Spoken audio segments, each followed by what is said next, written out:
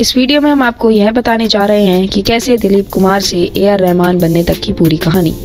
Bollywood industry के famous singer A R Rahman ने 6 जनवरी को अपना पचपनवा बर्थडे सेलिब्रेट किया। ए आर रहमान का जन्म 6 जनवरी उन्नीस को हुआ था। उन्होंने आज म्यूज़िक इंडस्ट्री में जिस मुकाम को हासिल किया है, उसका वर्णन करना बेहद ही मुश्किल है।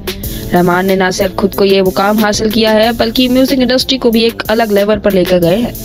वो अपने अभी तक के करियर में छह नेशनल फ़िल्म अवार्ड, दो बार ऑस्कर अवार्ड, दो ग्रैमी अवार्ड, एक गोल्डन ग्लोब अवार्ड, पंद्रह फ़िल्म फेयर अवार्ड, एक बेफ्टा अवार्ड और सेवनटीन साउथ इंडियन फ़िल्मों के लिए अवार्ड जीत चुके हैं।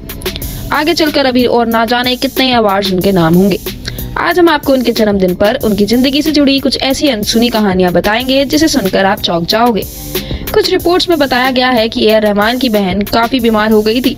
उसकी हालत इतनी खराब हो गई थी कि सभी डॉक्टर्स ने जवाब दे दिया था। रहमान ने उसकी ज़िंदगी के लिए बहुत दुआएँ मांगी थी।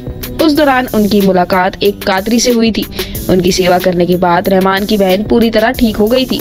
इसके बाद से ही उन्होंने अपने परिवार के साथ इस्लाम धर्म अपना लिया था और अपना नाम दिलीप कुमार से बदल कर ए आर रहमान रख लिया था।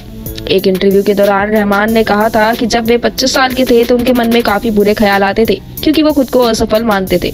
लेकिन संगीत के शौक ने रहमान को इन हालतों से उभारा और अपने शौक को ही रहमान ने अपना पेशा बना लिया। साल उन्नीस सौ इक्यानवे में रहमान ने फ़िल्मों के लिए म्यूज़िक बनाना शुरू किया। फ़िल्म मेकर मणिरत्नम ने अपनी फ़िल्म रोजा में उन्हें संगीत देने का मौका दिया। वहीं से रहमान कामयाबी की सीढ़ियाँ चढ़ते चले गए। रहमान जब म्यूज़िक सीख रहे थे, तब उनके सर से पिता का साया उठ गया। लेकिन रहमान ने हिम्मत नहीं हारी और संगीत का रियाज सीखना जारी रखा। रहमान ने हिम्मत नहीं आ रही और संगीत का रियाज करते रहे करते रहे। रहमान कभी भी फ़िल्मों में संगीत देना नहीं चाहते थे। वे बैंड और नॉन फिल्मी म्यूज़िक तक सीमित रहना चाहते थे। लेकिन उन्हें फ़िल्म म्यूज़िक चुनना पड़ा।